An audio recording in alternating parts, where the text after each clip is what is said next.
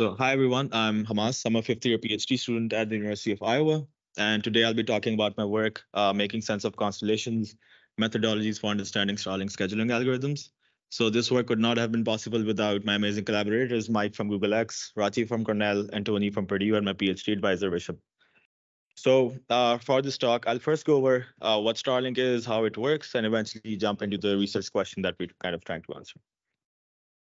So Starlink is a low Earth orbit satellite constellation, and which is used to provide uh, broadband internet. So low Earth orbit uh, satellite constellation essentially means that all of the satellites in the in orbit are less than uh, 2,000 kilometers uh, away from the Earth. But in in the case of Starlink, they're at about 550 kilometers away from the Earth. And the current Starlink constellation uh, consists of more than 5,000 satellites, but in its full and final form, it will have somewhere around uh, 12,000.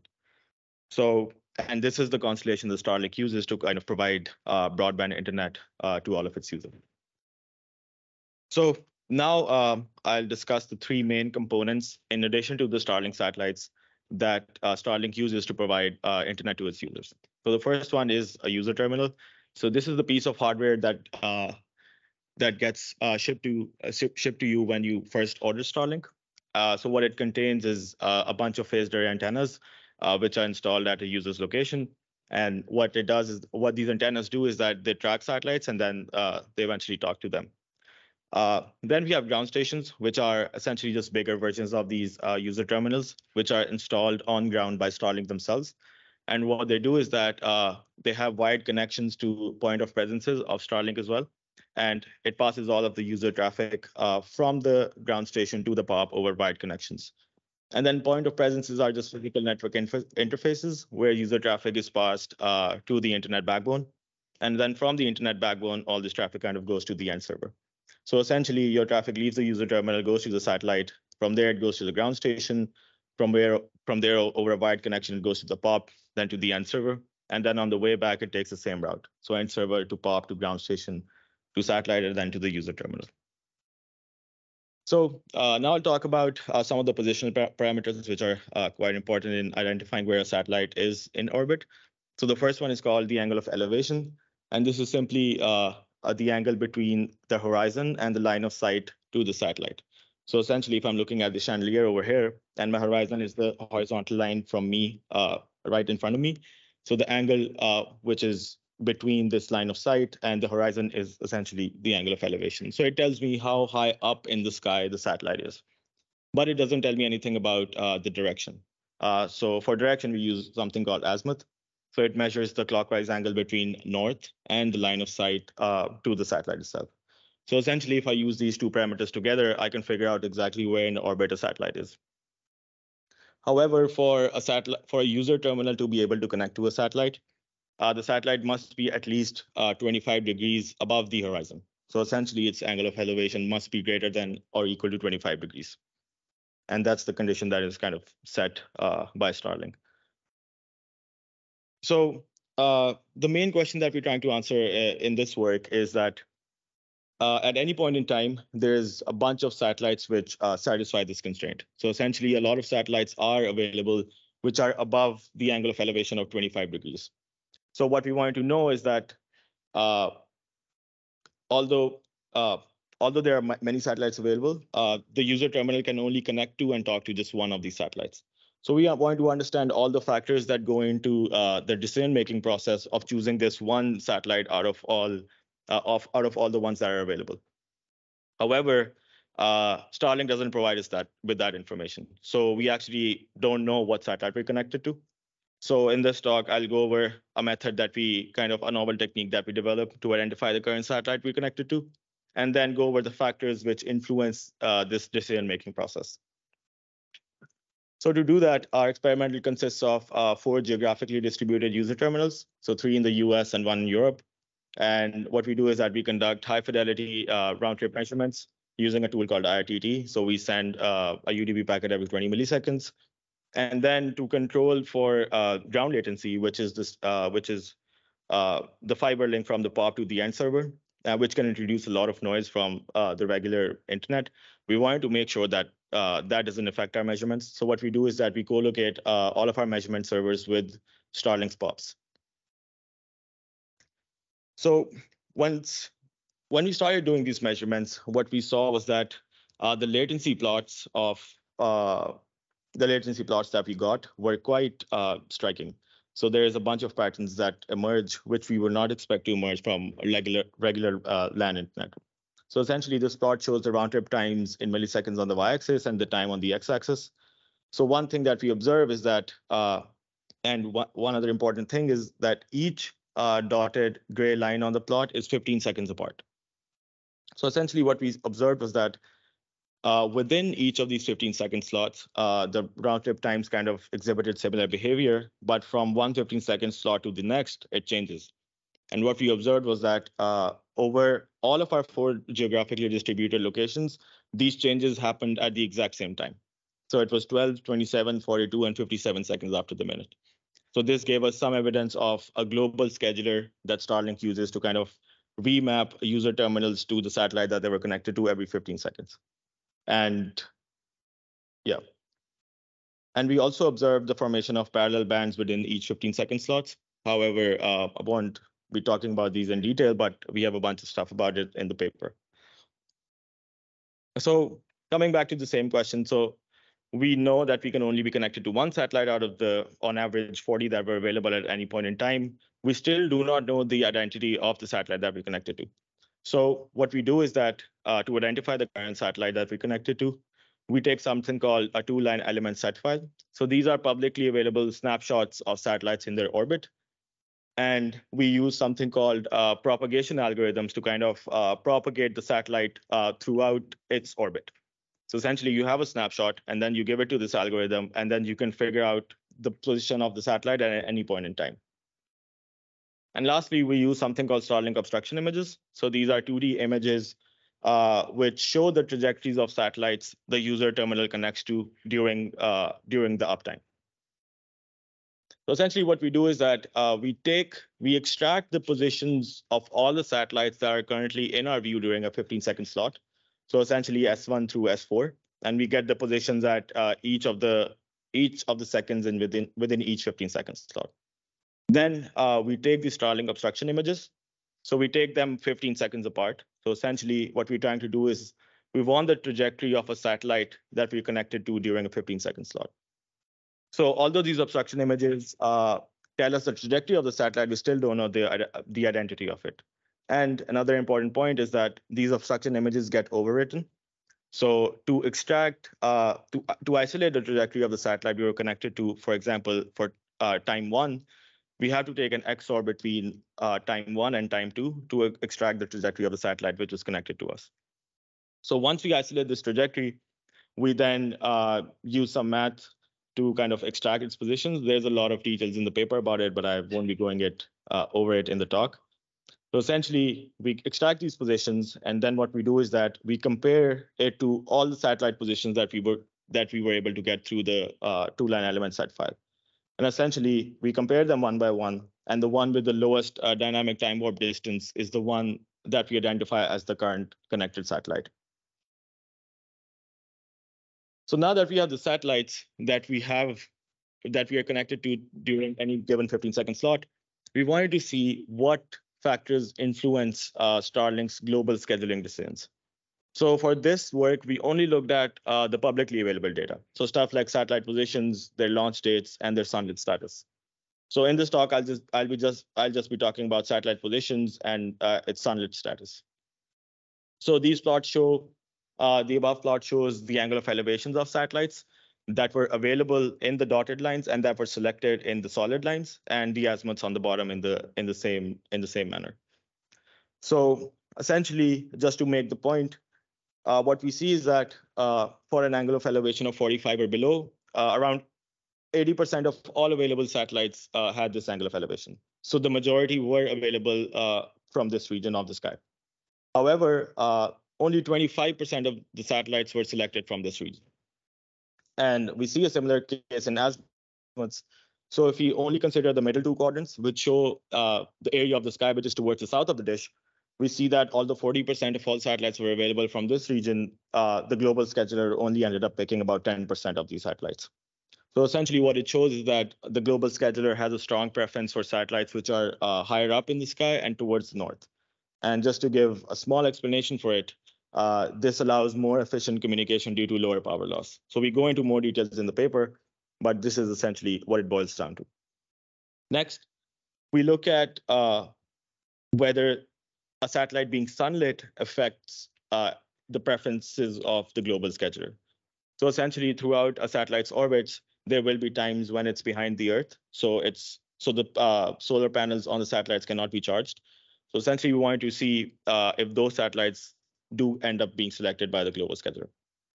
So in this plot, we kind of so for the slots where uh, the sunlit and the dark satellites were available in equal proportions, we saw that uh, Starlink overwhelmingly just chooses sunlit satellites. But in this plot, what I'm uh, the point I'm trying to make is that uh, we compared the angle of elevations of the sunlit uh, of the satellites that were sunlit that were picked versus the angle of elevations of the satellites that were picked that were dark. So essentially, we see that 40% uh, of satellites that were picked had, on average, an angle of elevation uh, below 50, but that number is only 8% for dark satellites. So essentially, when the Starlink, when Starlink's global scheduler is forced to pick a dark satellite, it picks it from a higher uh, region in the sky, which makes then again uh, the communication with the satellite more efficient. So uh, we basically now that we know something about these global schedulers, what we wanted to do was to see if we can train a machine learning model to kind of predict some uh, some of the decision making process that goes into these global scheduler decisions. So what we do is that uh, we do something we call batch aware modeling. So we divide each phase in our measurement period into uh, 15 second slots. And for each satellite that is available, we extract the following parameters. So it's azimuth, its angle of elevation, its age, and its sunlit status. Then, given a satellite S available at time t for location L, uh, the satellite, the current satellite uh, within the set has uh, the parameters, so azimuth, angle of elevation, age, and its sunlit status. And what we do is that we place them in clusters. And this is how we form these clusters. So essentially, uh, each parameter uh, goes, uh, the value for each point in the cluster is essentially the amount of standard deviations away this parameter is from the group mean of this parameter uh, for that 15 second slot. So essentially, we're binning these satellites by, by how far away from the standard deviation of each of these parameters they are. And these are the features that we kind of put into our machine learning model. So essentially, count of satellites within each cluster and the local time of when these observations were made. And then we train a random forest model and we get the top K accuracy of, uh, of the model that we built. So what we see is that uh, our model performs higher than the baseline. So the baseline in this case is just the clusters with the highest amount of satellites. So essentially, that has the highest probability of being picked at random. So th that's what we went with for the baseline. So what we see is that although the absolute uh, accuracy is not too high, it's much more than the baseline. And one thing we have to note here is that we were only training this model on publicly available data. So we have no idea about the load on the satellites or their performances or uh, or how many how many uh, user terminals they're serving. We just know about these publicly available data sets, and this is the amount of learning that we were able to do about above the baseline. And then we also looked at some important features. So uh, the machine learning model seems to be very sensitive for uh, uh, standard deviation of two in the angle of elevation part, which kind of suggests that uh, the global scheduler is very sensitive to satellites which are higher up in the sky. So whenever they're available, it'll probably go for it. And then uh, the second cluster essentially shows satellites which are much newer and which are also sunlit. So essentially, uh, the global scheduler prefers satellites which are new and which are currently being charged by the sun. So essentially, uh, in this talk, we perform high fidelity RTT measurements to identify evidence for the presence of an on-satellite uh, medium access control scheduler. Not talked about this a bunch in the talk, but uh, we have a lot of details in the paper. Then we develop a novel methodology to identify the current satellite a user terminal is connected to, and we uncover the behavior of Starlink's uh, global scheduler. So all of our data and our code is available on this QR code. Uh, so please go ahead and scan if, and if it doesn't work, please let me know. But yeah, that's about it. Thank you so much. Thank you.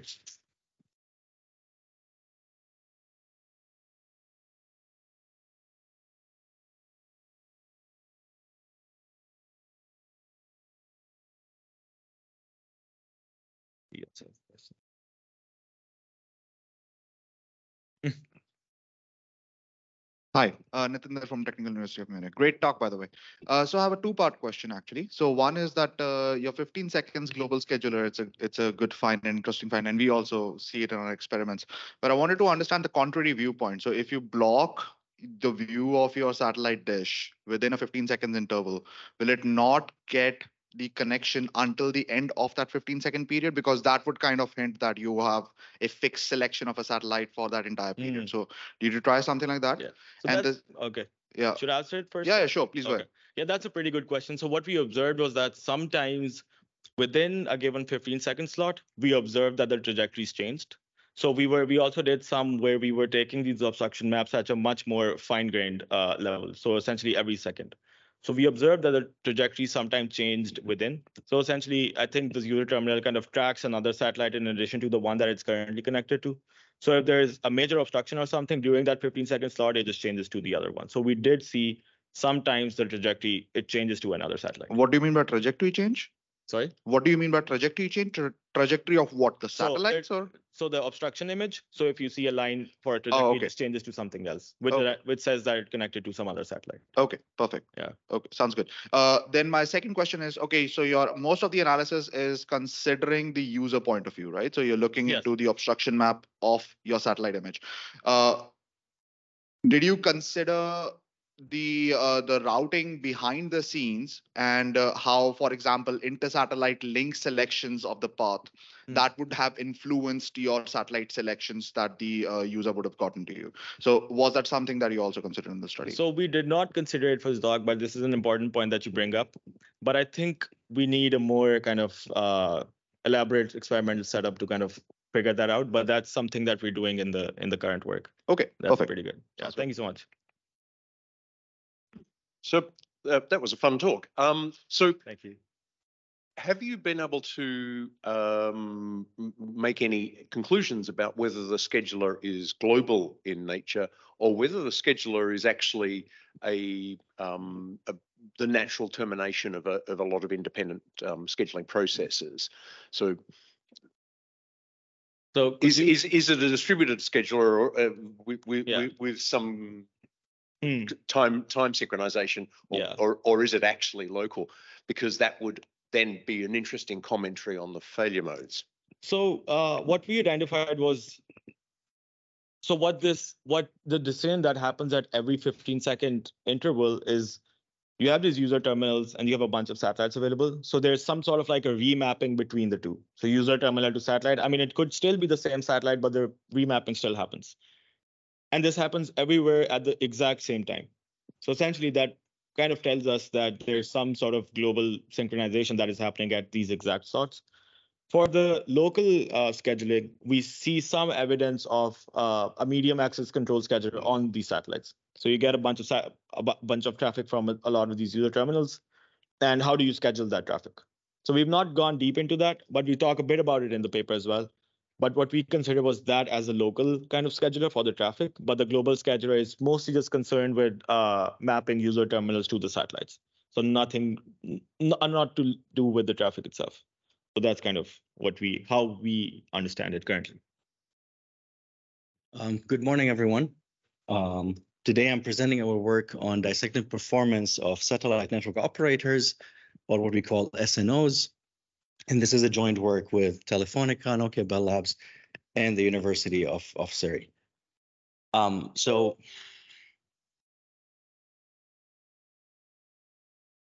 yeah. Um, maybe before we start, um, let me give you a little bit of sort of an overview of the satellite connectivity, like the big picture. Um, starting with like where these satellite locations are. We've already seen from Hammas talk that uh, at least one part of the of the satellite story. Here we're starting with what we call a geo satellite, which is sort of one of the oldest types of satellites that exist. Um, it's somewhere around 35,000 kilometers um, um, in orbit. Um, and then we have what we call a MEO, a Middle Earth uh, uh, satellite, which is somewhere between 2,000 and the 35,000 kilometers away. And finally, we have uh, LEO satellites, uh, which what we saw, for example, Starlink is one of uh, these satellites that are very close uh, to to uh, to Earth. Um, and then part of the story as well is that you have the user with their uh, satellite dish that connects to these satellites. And on the other hand, you have the ground station and what uh, we call the POP or the point of presence, which is really the connectivity of Starlink to the backbone internet. Um, and satellites is not new. They existed since the 70s, uh, but in the recent years, at least in the last three, four years, there has been uh, a huge increase in the number of uh, satellites, uh, specifically when uh, sort of companies like uh, Starlink sort of started launching their LEO orbit satellites, and hence you can actually see all the light green uh, sort of LEO increases of, of the number of satellites um, in the last couple of years. Um, what you can see from the picture over there is that, of course, LEO has a much sort of limited uh, uh, coverage on Earth compared to both MEO and, and GEO. And hence, that's why sort of uh, companies like Starlink has like a mesh of many satellites so that they can sort of provide a global coverage at any point in time. Um, now, we wanted to study the satellite performance and we wanted sort of to do something different, relying on opportunistic sort of uh, measurement uh, thinking rather than sort of using vantage points uh, which could be limited in space and time that they're like because these things are very expensive and you're going to end up in basically only a couple of small locations with a very uh, limited uh, short time span. We wanted to sort of uh, break this up and get sort of a much larger coverage that spans the the entire globe as well as getting like sort of a, a good longitudinal sort of study over time and see how these uh, satellite uh, performance varies over over time. Um, and so for the how is we wanted to identify these satellite network operators using public measurement data sets that are publicly available on the internet. And two of the biggest ones that uh, stands today are uh, Measurement Lab, MLab, and RIPE Atlas. So these uh, have been uh, there for quite some time, and there's like millions of records and experiments uh, that are publicly available. Of course, not all of them are on satellites. So the challenge was how do we identify basically from all these data sets which ones are satellite network operators so that then you can actually look at the performance. Um, and in addition to this, we wanted to amend this um, into also getting sort of uh, measurements from uh, higher layer levels and application level performance, because a lot of these public data sets are having sort of low, lower uh, layer uh, things like pings or uh, uh, round trip time and uh, downlink time, uh, like downlink and uplink rates, and they do not necessarily show sort of uh, application layer performance. So we, for that, we relied on crowdsourcing platforms and identifying users that are on satellites, and then we sort of worked with them in measuring some application layer performance. So the main challenge, as I said, is how do we correctly identify which of these records that are publicly available are on satellite, and how do I identify the users that are on crowdsourcing platforms? How are they also on, on satellite to be able to get like sort of a realistic uh, and accurate uh, measurement studies? So starting with the, with the satellites itself and the methodology that we have identifying um, these satellites, we started with the MLab datasets. For those of you who have not seen MLab, they use something called uh, DNT.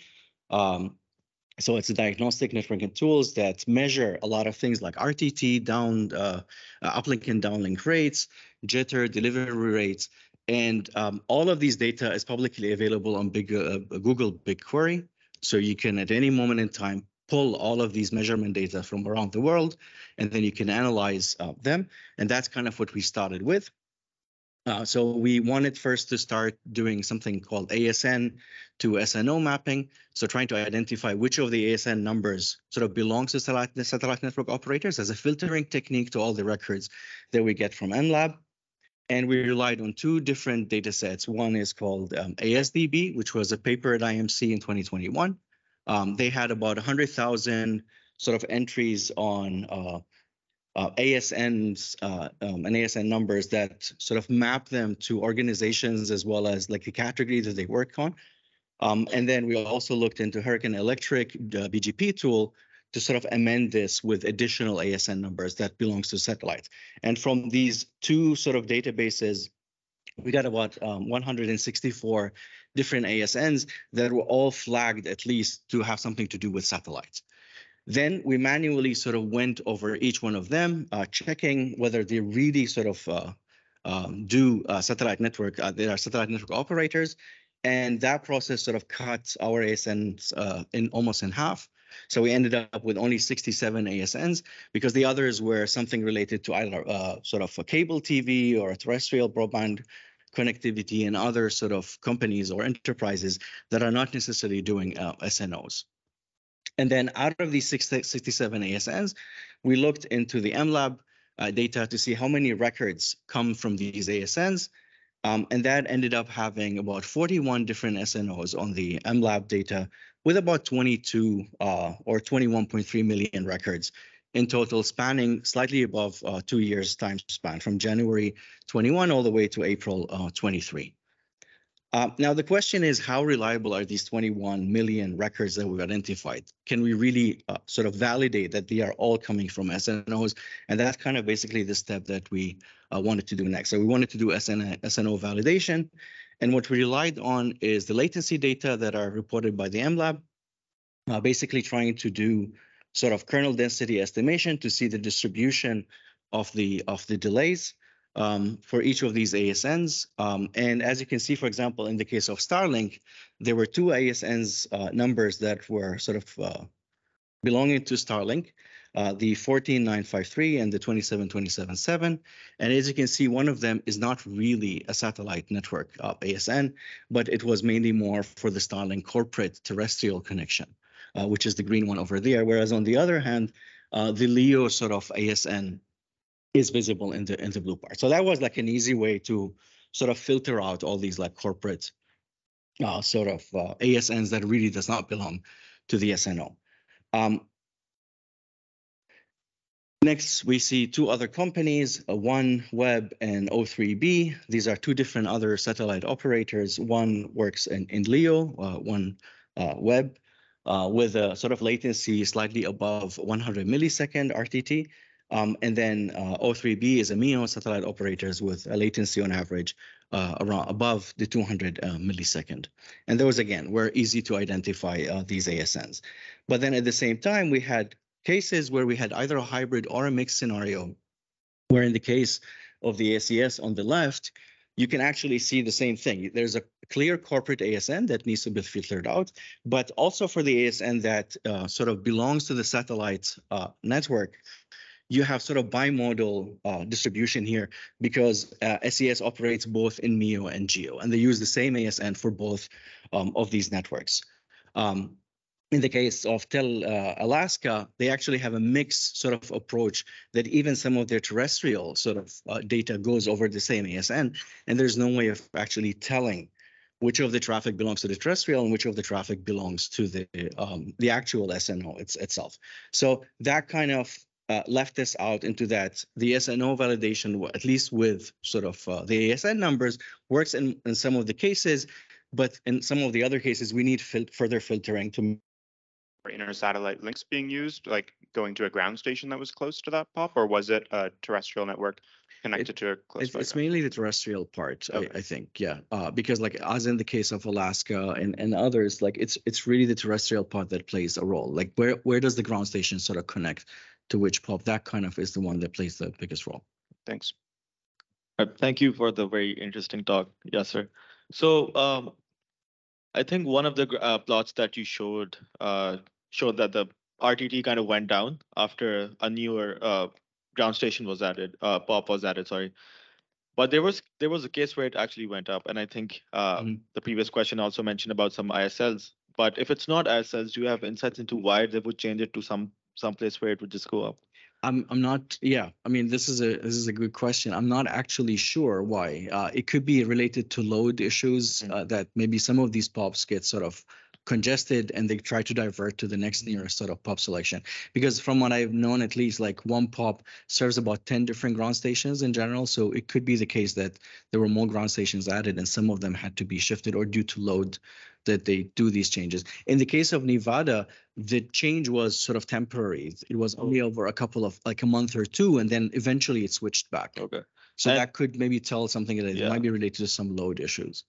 Okay. And were you able to kind of draw out some uh, connections made over ISLs from the MLab measurements? Like somehow just looking at their RTTs and because they behave weirdly when you compare to others, maybe you could maybe draw out if they were over ISLs or not.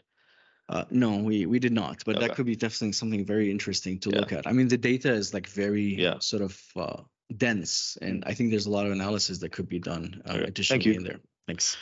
Hi, uh, Nitinder here from Technical University. of New Great talk, Yasser. Uh, so uh, my first question is, is that- is picking up on uh, the last one. Your RIPE Atlas analysis showed that your terrestrial part has a huge influence on the last link, right? Uh, but I wanted to get a clarification. For your MLab, you were only looking end-to-end latency, so from your probe to your MLab server, and you did not look into anything in the middle. No, And well, how did that influence? So you have no idea for non-Starlink, uh, Right. what is the influence of the Uh, terrestrial? we, line? we no, unfortunately, we do not for the MLab data. For the RIPE data, because we have also trace routes, that kind of allows us to sort of dissect. Okay. Uh, any reason why you didn't look into the reverse trace route data from MLab?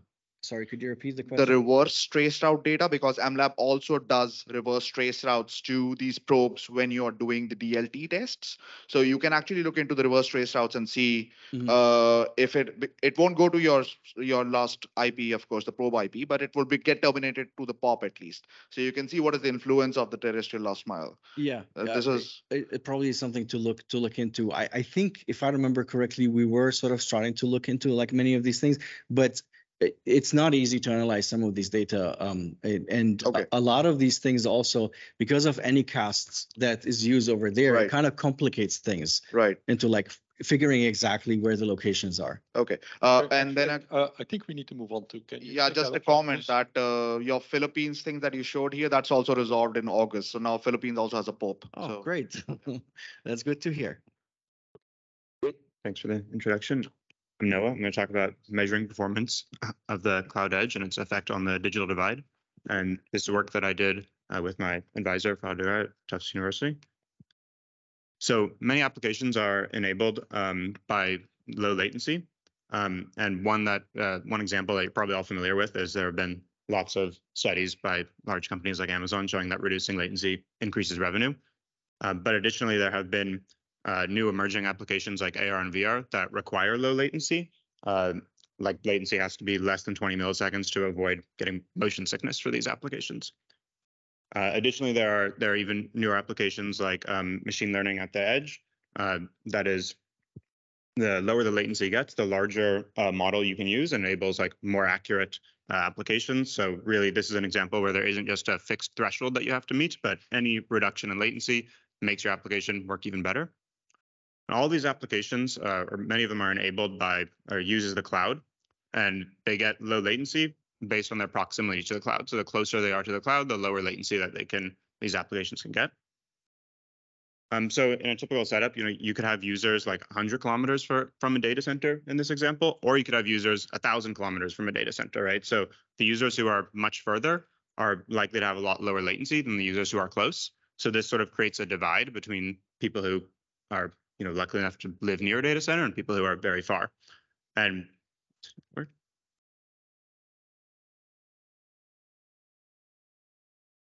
Um, so the dig- digital divide has already been studied and, and shown that you know it can impact availability and quality of internet access. Like some people might not have as many um, internet service providers or might not have any. Um, and we're measuring this new aspect that we call the cloud digital divide, where we're looking at how this distance to the data center can affect this digital divide landscape. So we do that um, using a few different data sets that we combine, like um, active network measurements on RIPE Atlas, as well as things like economic indicators um, through like census data and population counts of areas. So this is a map showing the AWS data center locations in 2019. So every dot is a data center location. And then this is it in 2023. So it's changed a lot. There are many new locations. Those green triangles were all added. Uh, a lot of these are local zones, um, which is AWS moving the data centers closer to the edge of their network. Um, being able to get close to more users can enable these applications. Um, so obviously with something like changing this quickly and enabling a lot of these important new applications, uh, we wanted to study a little bit more and, and answer a few questions about it. So our, our first question is, how much of an impact do these new data centers actually have on latency? And second is uh, we wanted to look at if this expansion is fair or if it's worsening this cloud digital divide and you know giving some people lower latency than others. And last, we wanted to look at how propo- uh, existing proposed digital digital divide solutions, like the low Earth orbit satellites that we've already heard about, um, how these can affect the cloud digital divide. So what we find is that there are large reductions in latency overall um, with the cloud edge, nearly 60% um, in some areas. And then we also find that this um, that the inequality is actually rising due to an in increasing gap in minimum data center distance between those who are closest and furthest from a data center. Uh, but there's also less unfairness. So the unfairness is decreasing and improving as the cloud edge is expanding. And last, we see that with um, low Earth orbit satellites that you know can uh, address the digital divide, also can help improve the cloud digital divide and lower inequality and unfairness. So we'll go over each of these and we'll start um, with the measurements of cloud edge locations using RIPE Atlas. Uh, so our basic setup, our methodology is we measure the round trip time to the edge of three major cloud providers using about 5,000 RIPE Atlas probes. And our targets for these probes are IPs that were uh, provided by these cloud providers routing optimization services, which is like an Anycast service. Uh, so it's designed to get your requests to enter their private network as quickly as possible so we can measure the time that it takes just to get to their closest edge. And we compare this to the round trip times from VMs launched in each of the cloud providers regions, so 100 in total. And we do this to like answer this question of what if analysis of what if cloud providers offered compute at all of their edge locations. So that's why we're measuring the cloud edge from these Anycast services. This is like if it was expanded even further than the picture that I showed earlier to all of their edge locations. And so what we see is that in North America, Europe, and Oceania, uh, the cloud edge can be reached in under 20 milliseconds for more than 80% of our probes. Um, in the figure here, it's a CDF with the minimum round trip time that the probes measured on the x-axis and the percentage of probes that can reach that round trip time on the y-axis. Uh, the solid line is looking at our baseline, so just the uh, VMs and cloud regions, and the dashed line is looking at the edge. Uh, so you can see how before there was this, um, there was a latency that was greater than 20 milliseconds. There. Before the latency uh, was greater than 20 milliseconds for 80% of probes, but um, after using the cloud edge, it was it was less than 20 milliseconds. Okay, so then adding in Oceania here, uh, we see similar to North America, but actually even larger improvements. Um, and a lot of this was because the baseline had no data center in New Zealand, but the cloud edge does. Um, and a lot of the probes were in New Zealand, so that's where we were able to see this even larger improvement from Oceania. But the main takeaway here is that the Cloud Edge does make this emerging low latency tasks, the tasks requiring less than 20 milliseconds, feasible on these continents with well-provisioned infrastructure.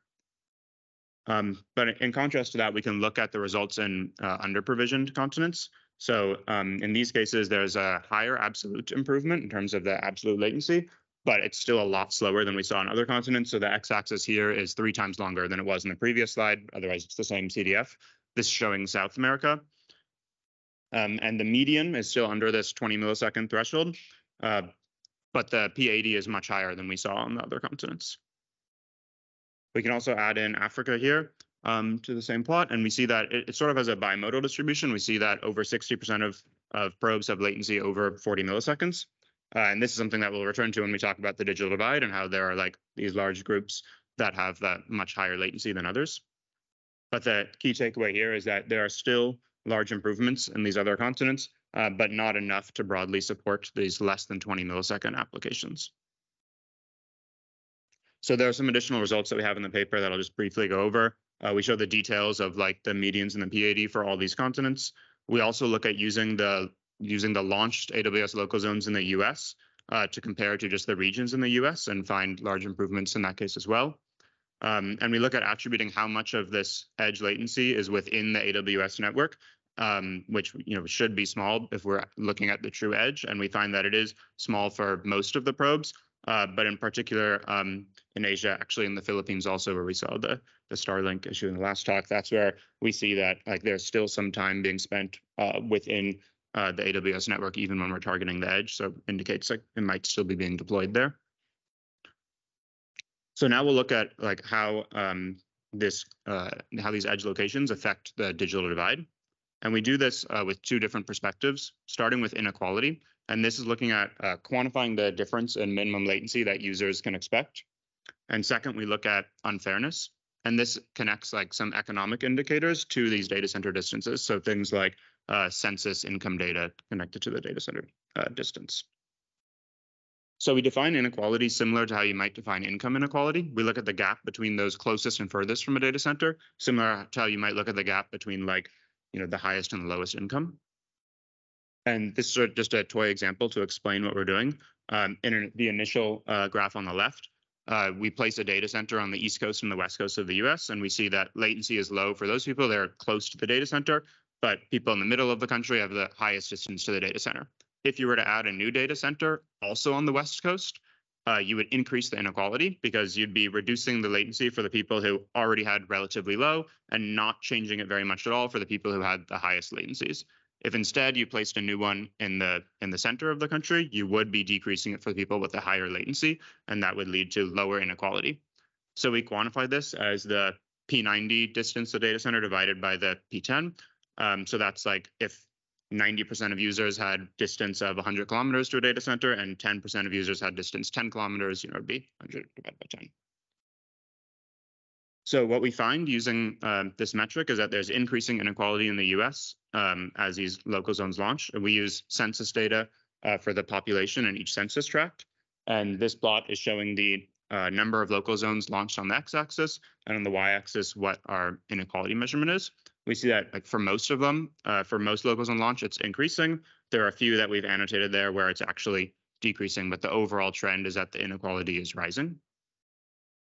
And we do the same thing at a global level, but in this case, we can't use the census data for the uh, population, but we segment the world into these administrative boundaries and use uh, global population rasters to see how many people are in each of these areas. And we find that in uh, same graph just showing for North America, as new data centers launch, that the inequality is overall increasing. You see that slight drop um, at the most recent launch. That was the first uh, data center added in Mexico that slightly decreased the North America inequality. Uh, we can add in a few other lines here also showing uh, South America and Oceania also increasing, so the same basic trend. Um, and even if we add in every continent, we see there's not quite as much of a change, but overall they're all increasing.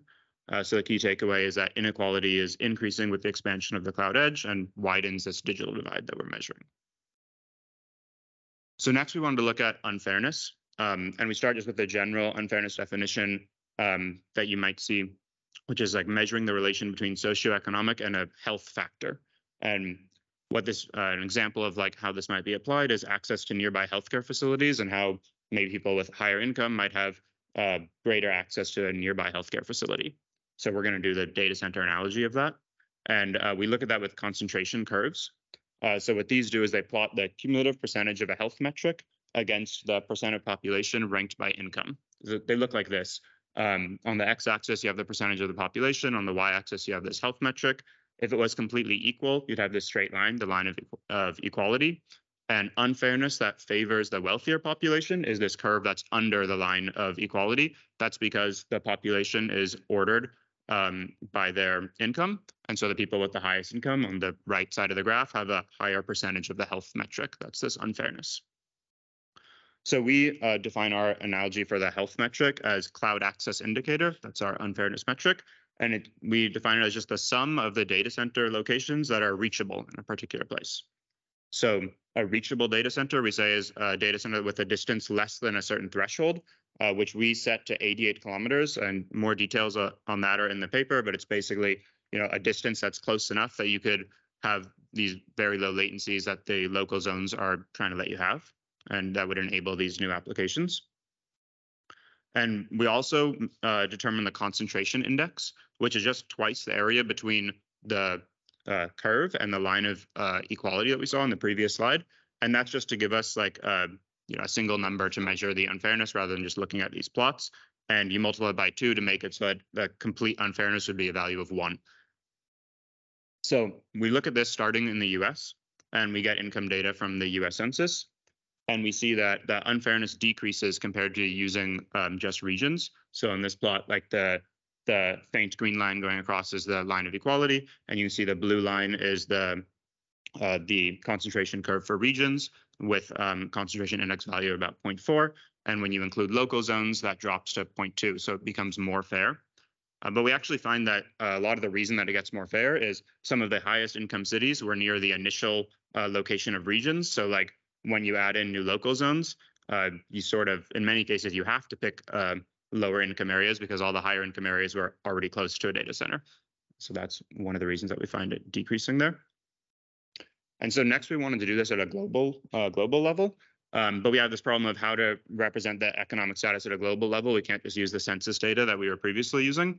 And to do that, we use remotely sensed nighttime light. So this is like satellite pictures of the world at night and how much light is being emitted from different areas. And that's been shown previously to be a, a proxy for like the economic status of an area.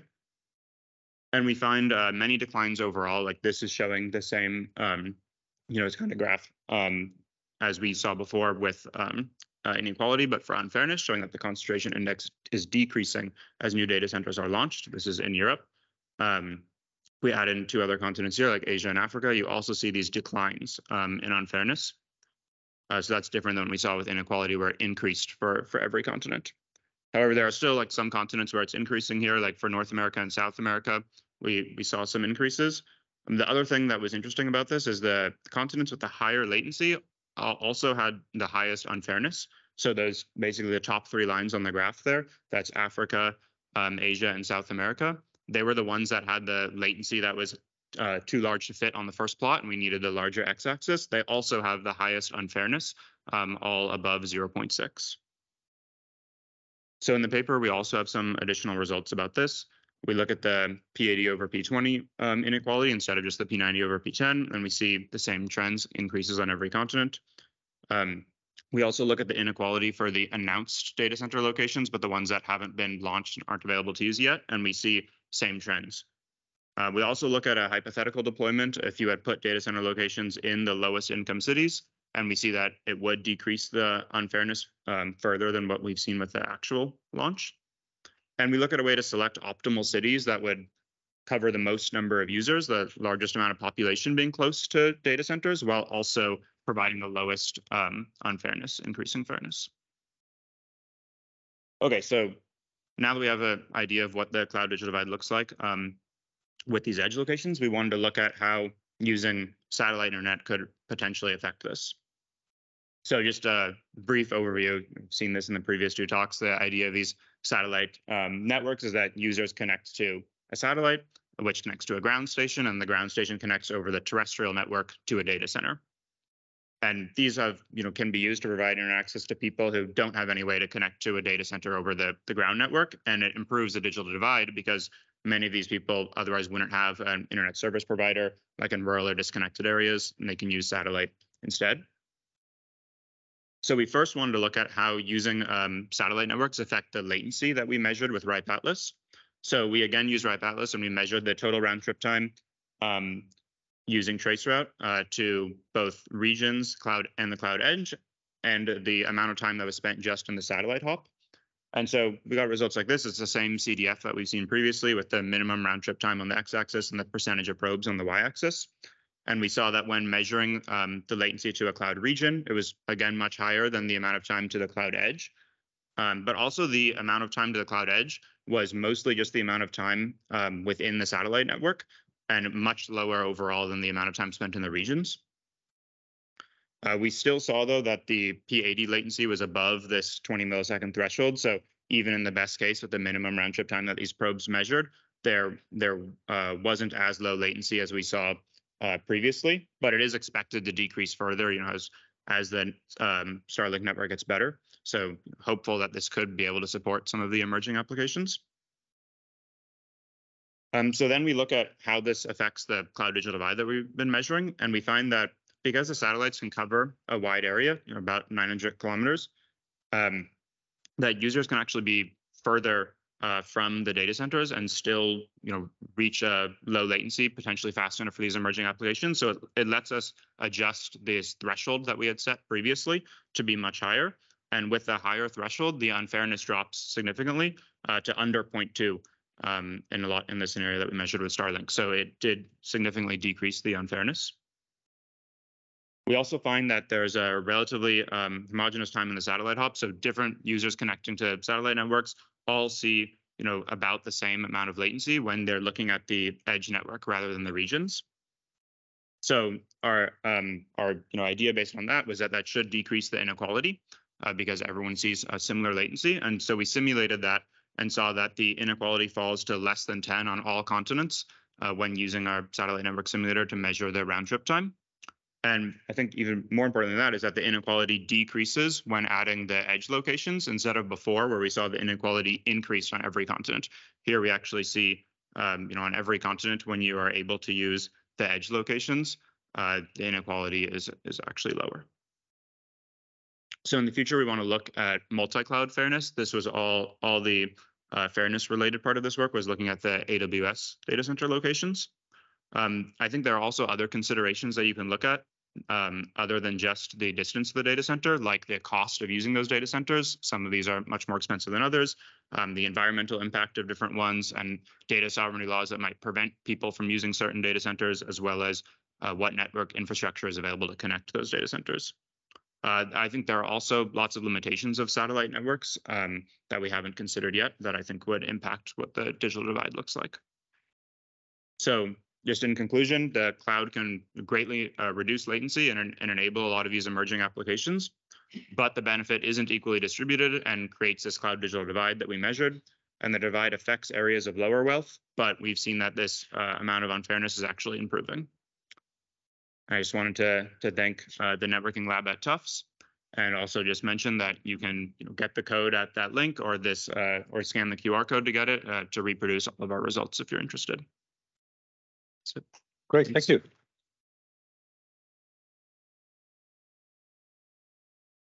Um, let's see. Um, I think we may have to limit the number of questions, though. So uh, just if we can ask one short question each, maybe. And the Uh, next, uh, Okay, so I'll- I'll, I'll make mine very quick. Um, did you, th- th- this was really lots and lots of angles to this and I really like that. Um, did you uh, look at any of the, um, uh, the, uh, network censorship locally as a, as a, um, as part of this, you know, so when you talk about the fairness of access, unfairness of access, you're talking basically using this RTT proxy. Yeah. But, um, did, um, uh, do you have any insight for um, the local um, political uh, censorship and so on, or have you just presumed all access to AWS is is equivalent? Yeah, so for this work, we've we've assumed that all access is equivalent, but that's definitely one of the things that we've wanted to look at. You know, I think there are things like like just laws that prevent using other data centers, like you know maybe like GDPR like regulations, but then there are also cases where like maybe uh, you know countries are not that friendly and they don't want you to use a data center in another country, even if it's closest. So I think those are all interesting areas for future work. Yeah, thanks much. A very cool and inspiring talk uh, and paper. Uh, I have a well, whenever you, you do these measurements and we are we are guilty of the same, you end up doing mostly pings, Yeah. more or less for RTT, which gives you the, the super optimal, non-loaded, uh, nobody is using the network, it's empty. You don't shovel 400 kilobytes three, 30 times per second to some edge device in order to get. So with these Starlink optimizer uh, evaluation, you did simulation, so you would have actually have the opportunity to uh, look at load and load inflicted um, I don't know capacity limitations and, and and so have have you have you taken any you had any chance to look into these aspects on how far these optimistic projections can actually carry in reality? Yeah, so we use this um, Hypatia simulator, and the the details of that are are on the GitHub link if you're interested. And um, from what I could tell, that simulator does not take these into account, and in fact, it might be more optimistic than you get with Ping because it's basically just taking into account the distance to the closest satellite. Um, so our simulation didn't take that into account, but you know we know that there are definitely issues with this on Starlink, and I think more and more users have been reporting congestion and things like that. Right. Um, so I think that's definitely like, when I mentioned that like limitations of satellite networks for future work, that was kind of exactly what we were thinking about. So I suppose that holds finally for the terrestrial networks as well, but for the star for, for the satellites, it's maybe easier to evaluate. with a simulator, I think that's a great point. Anyway, it would be great effort to to, to look to look into this. Probably there's more people here interested in that kind of a, a direction on how to Yeah. measure these things uh, under under under load under pressure. Thank Yeah. you. Thanks. Okay, thank you for the introduction. And the work that I'm presenting today is the work by my student, Sawsan El-Zahr, that unfortunately didn't get a visa to come here. So I'm going to talk about a completely different frontier now. I'm going to talk about net zero. And uh, while uh, we are all uh, talking about the sustainability of hyperscalers and network providers don't consume as much energy as uh, hyperscalers, we have a lot more ISPs around the world, and the carbon emissions of the network is not negligible at all. The numbers vary. If you're interested, you can read all about it in the paper, but today I'm going to focus on routing and on the scope 2 emissions of the network. And while previous work has looked at uh, power efficiency, carbon efficiency is a new optimization problem. So if we look at uh, the routers that we have here on the board, they are all the same, and I want to route from A to E. Power efficiency-wise, the best route to take is ABE. However, if I add the geographical dimension to the routing and I consider the source of the power for each of the routers, then router B is powered by a fossil fuels energy source, whereas C and D are powered by green energy, and therefore it would be better to go from A to E through C and D. And the opportunity that is new here is that actually carbon intensity became a predictable element per region that previously we didn't have. And specifically, the goal of this research was to quantify what are the potential benefits of adding carbon awareness to routing. And you should already know by now that we can't improve what we don't measure. But how do we measure carbon emissions. Carbon emissions relate uh, to several factors. One of them is the amount of energy that is consumed. Another is the source of the energy. And the source of the energy has uh, weighted carbon emissions that are associated with the source. And these two elements can are being called in this uh, talk carbon intensity. So when I'm talking about carbon intensity, that's the amount of uh, carbon emissions that is associated with an energy source. So I'm going to talk about these two aspects, energy consumption and carbon intensity, and I'm starting with the power consumption that over time becomes the energy consumption. And then power consumption of a router has two components. There is the idle power or the zero power, and there's the dynamic power of a router. And the dynamic power of a router, based on previous works as well as measurements that we have done, grows more or less linearly with uh, the traffic through a device, but uh, the idle power is a, has a static contribution element such as uh, the power supplies, fans, fabric cards, management cards, and so on. And it has an additional component uh, which is incremental, which is the power per port. The carbon intensity, which is measured in grams of CO2 per kilowatt hour, varies over time. Our uh, energy market today is a very dynamic and complex market. We are not being, uh, we don't receive energy from a single source. It's not like it's entirely green or it's entirely coal-based most of the time. It, there's a mix of sources. And what you can see here in the graph is over 28 hours, how the carbon intensity in the UK varies in different uh, seasons of the year. And you can see that there are significant differences in carbon intensity, both between the seasons and between nighttime and daytime and so on. Because especially in the UK, we are not only using solar power for uh, green energy, we also have energy from wind, from uh, nuclear energy, and so on. So we look at this carbon intensity and we consider the fact that actually it can be forecasted a day or two in advance. So let's see how we measure uh, the carbon emissions of a, a network, of routing through a network. We need metrics for that. And we are looking at two types of metrics, energy-related metrics and carbon-related metrics. Under energy-related metrics, we consider the typical power of a router. That's uh, the power at 50% utilization. It's a datasheet number. We also consider energy rating, like your air conditioner or a fridge has energy rating, we suggest to have energy rating also for routers. Uh, the detailed proposal is in the paper, but the idea is that based on uh, the energy consumption of a router, it gets a rating. And we also consider the incremental dynamic power. And this incremental dynamic power is per unit of traffic. So how many watts per megabit per second does your uh, router consume? In terms of carbon uh, related metrics, we are looking at the carbon intensity that I already mentioned and carbon emissions. Now, obviously, I can't see the future. I don't know what will be the future carbon emissions, but I can look on a previous observation period and I can see what were the carbon emissions over the last 30 minutes or over the last hour and use that for my prediction. Now, one thing to note, while carbon intensity is dynamic, we are looking at time periods of 15 minutes, 30 minutes. We're not talking about changing routing every few seconds.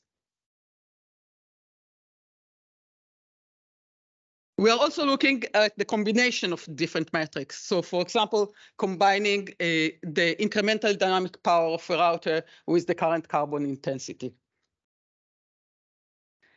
And our approach is to look at the network and calculate for different metrics that we apply as link costs, what would be the most carbon efficient way to route through the network.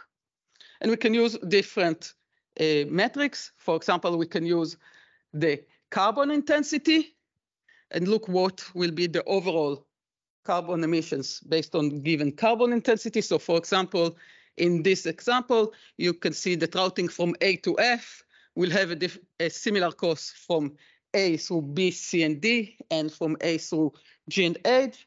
And we actually in our uh, work apply ECMP. So routing can go through multiple routes. We compared that to other metrics. So once we looked at one set of metrics, we are also looking on other set of metrics, changing link cost and calculating again the carbon emissions.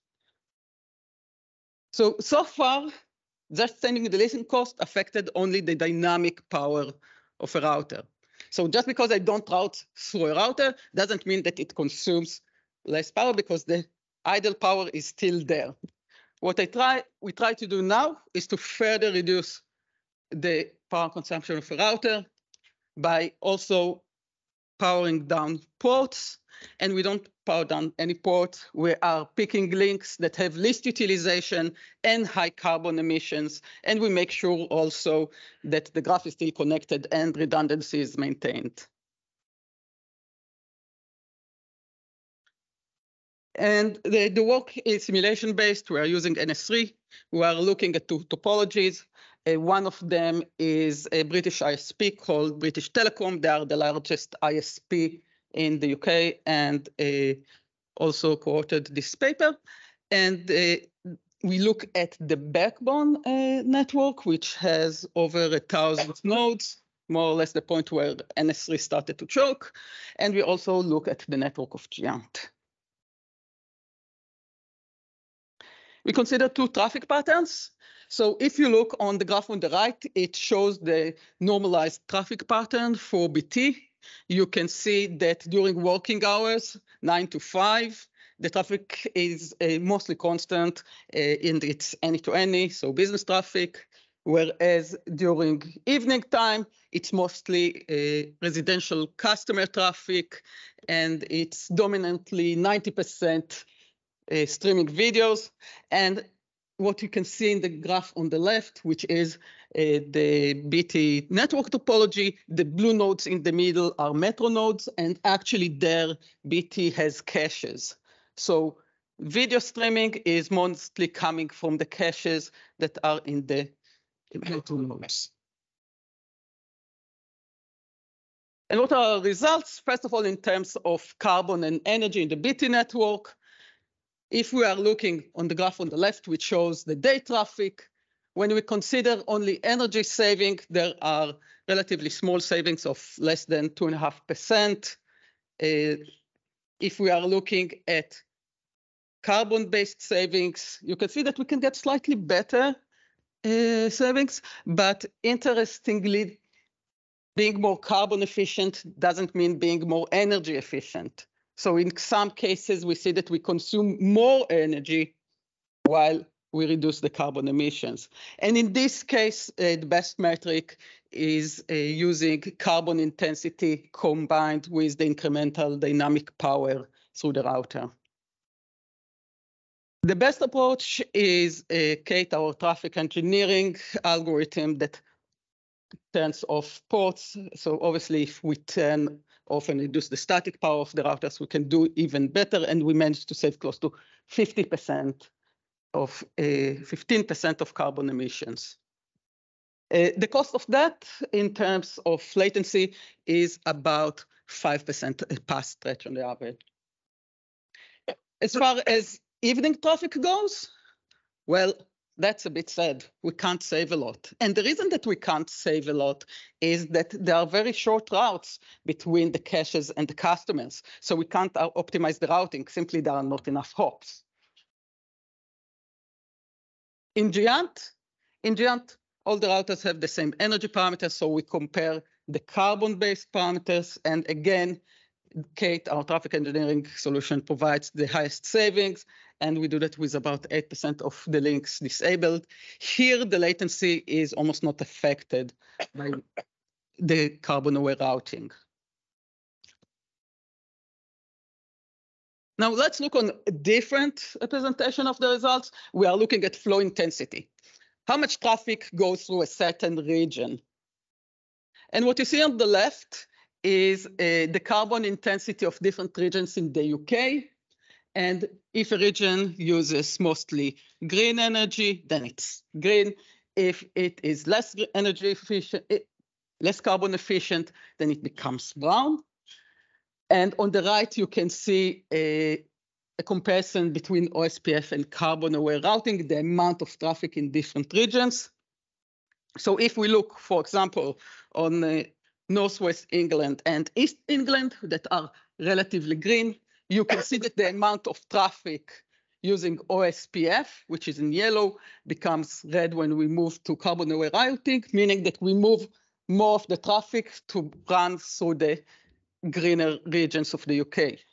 On the other hand, if we look on East Midlands and South England that are less green, you can see that the amount of traffic through them decreases. So we move from yellow to green, which means that the amount of traffic is reduced. And then we get to London. And London is London. All traffic goes to London. A lot of traffic goes out of London. You can't avoid oh, London. And consequently, we can't avoid routing through it. So we see here, we see it also in GÉANT, that some places are a bottleneck. You can't avoid routing through them, even if the carbon intensity there is high.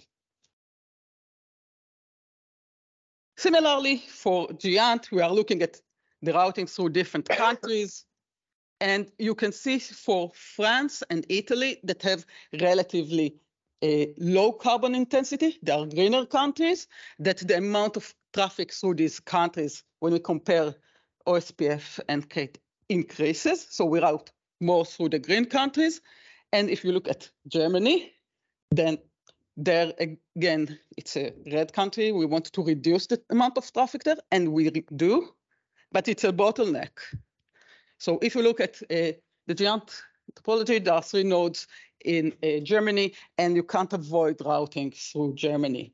So again, we have a bottleneck where we can't uh, significantly improve the, the routing. Last, we consider the ratio of static and dynamic power in a router. One of the big debates is actually how much does the power of a router change where there's traffic through it, and that's a property of the architecture of a router.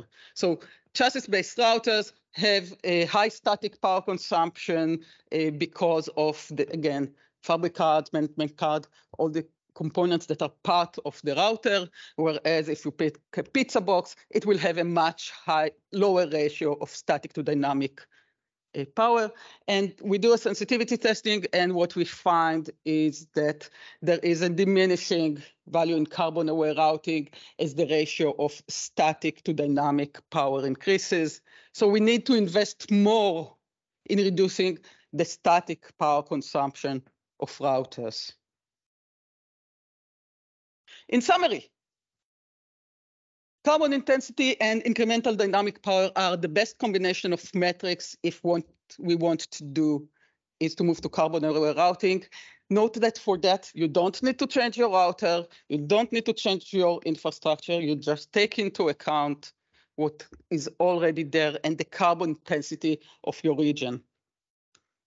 Second, energy labels that we suggested, they are good for patching. You'll have routers that consume less uh, energy. That's good, but it doesn't help us when we move to carbon aware routing. It doesn't provide a benefits of awareness. Third, the high idle power limits our carbon savings. We need to reduce it. Routing bottlenecks, again, limit our carbon savings, but we can't skip London. I guess that we can't skip Paris either. And carbon optimization is application specific.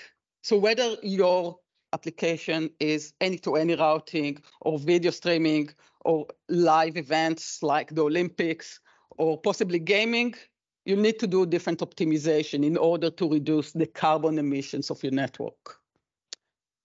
So our artifact is available and you are welcome to use it. And with that, I'm happy to take your questions. Thank you.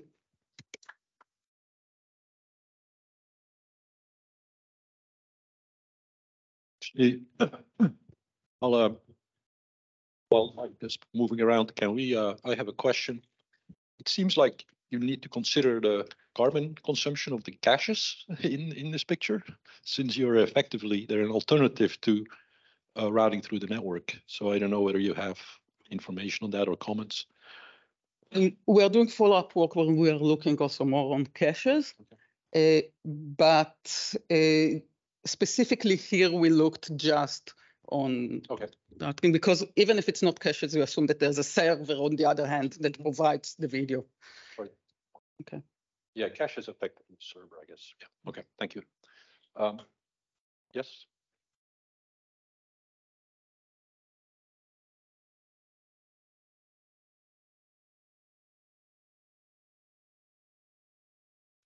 Just speaking, I can probably hear you.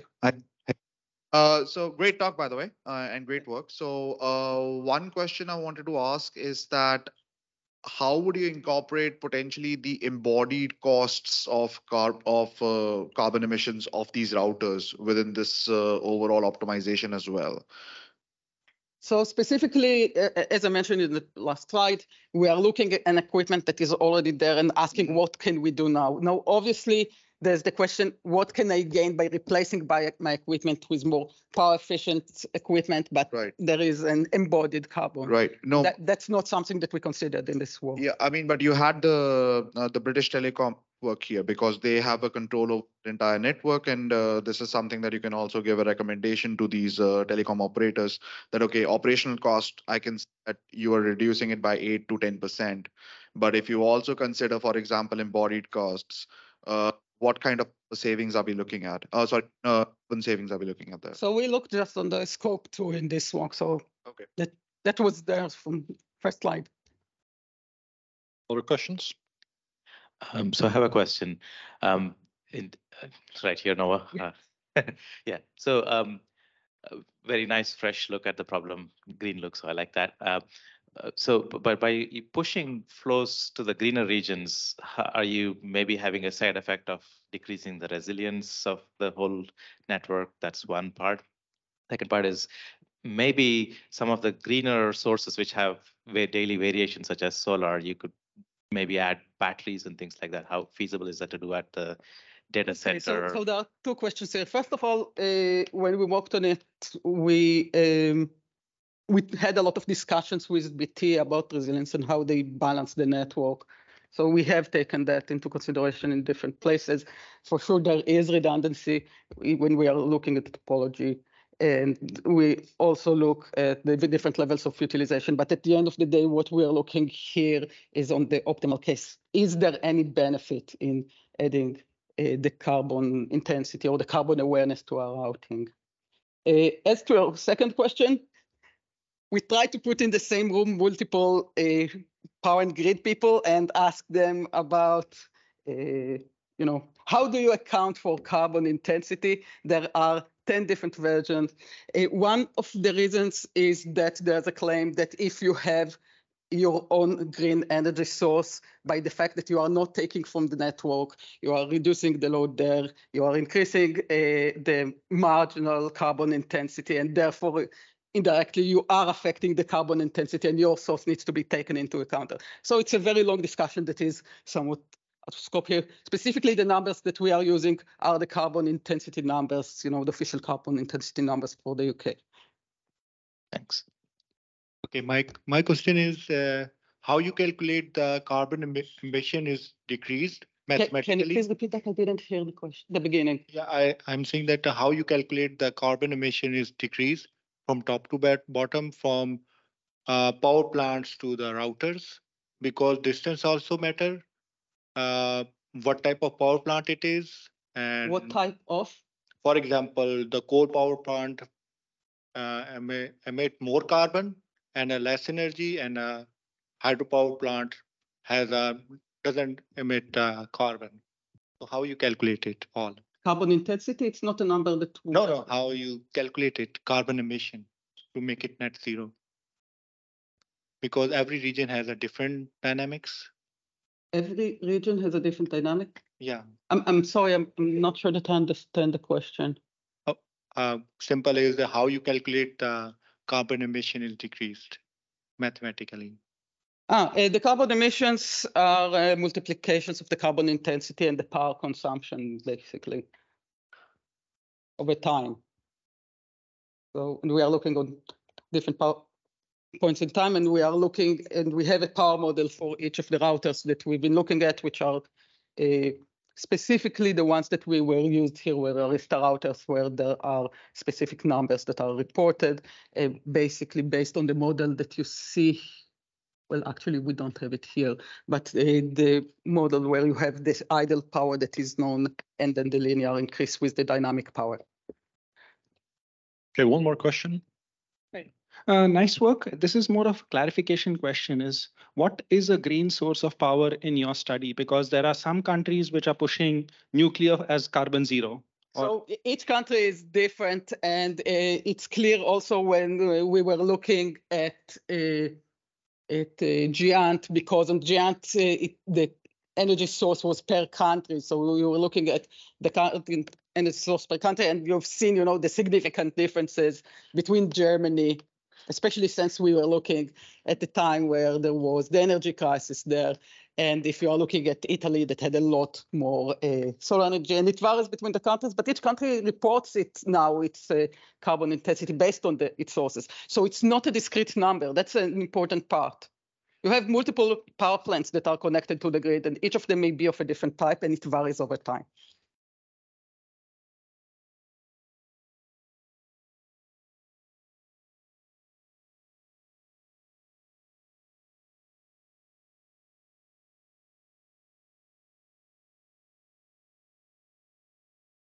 No, we are not asking if it's green or not. We are looking at the carbon intensity, which is the gram of CO2 per kilowatt hour. So, I so don't know the exact number, but it, it- I think we probably want to take this offline because we're, we're uh, getting late here. Um, It's yeah, just more of a curiosity. Thanks, Noa. So obviously you have most most of the routers are basically local ones, right? And you can't really remove them because they serve the users. And I was wondering, did you look at kind of the, you know, what is the amount of energy that is actually consumed kind of closer to the user and how much is actually consumed in the metro core areas where actually you do the routing? so we looked at the backbone. We didn't look uh, closer to the other, which is OpenReach and not BT. Okay. Okay, let's thank the, Thank you very much. all the speakers. Thank you.